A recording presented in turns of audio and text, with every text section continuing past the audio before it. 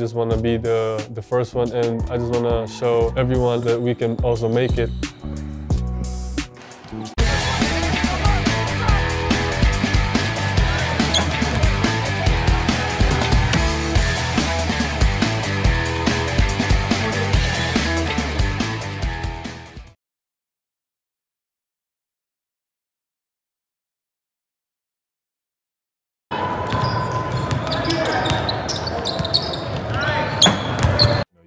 Seven foot, and sometimes that means 6'10, 6'11. He's legit 7'2. So it's just a breath of fresh air to work with somebody whose goals are so in reach, but also knows and is willing to put the work in that it's going to take to get there. I see Kai as, as somebody with a world of potential, um, and, and the sky is really the limit, but also, you know, there's a short time to get there and has to be deliberate in, in making those goals achievable.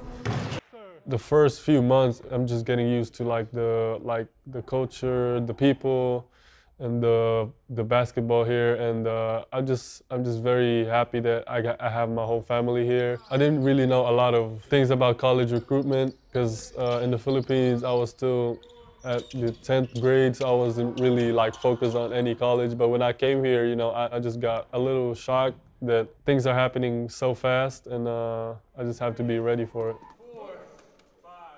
I just want to be the, the first one and I just want to show everyone that we can also make it. The training here in the States is different because they really like focused and my trainer really dedicated themselves to help me get better as a player.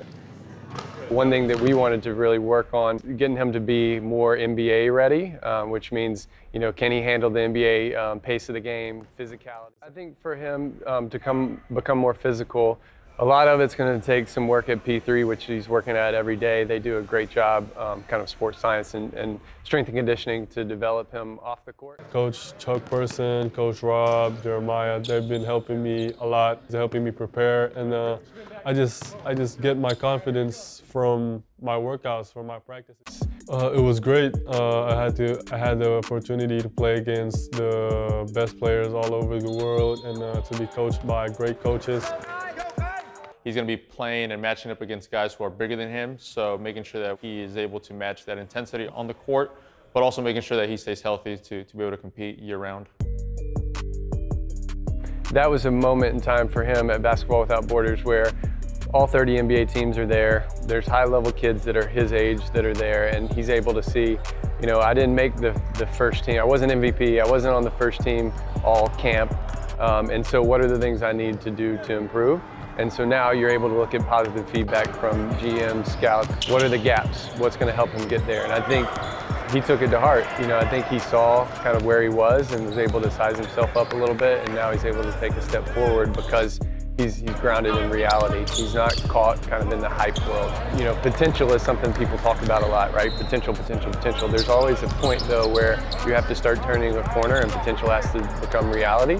And for him, he's starting to, to approach that phase. And I think he understands that. And so as long as he continues to move forward and progress, got every, every opportunity in the world to be a, a good NBA player.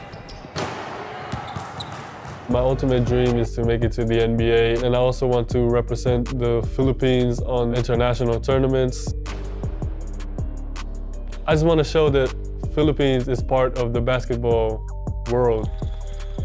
I appreciate those people who follow me and my journey, knowing that all my uh, fellow Filipinos from my country, you know, supporting me and uh, following me. And I just use it as a motivation, uh, inspiration, just to work even harder to make them proud.